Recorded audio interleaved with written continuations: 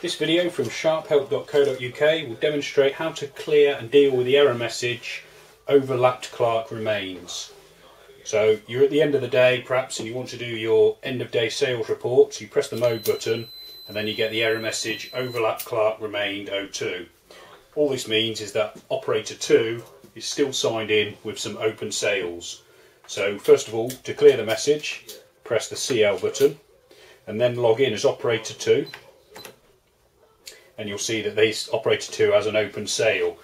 Now you can either speak to operator 2 and cash the sale off if it's a genuine sale or if it's been entered incorrectly or needs to be cancelled you can simply perform a subtotal void by pressing subtotal followed by the infinity button, the pink button with the infinity symbol on it, followed by subtotal again.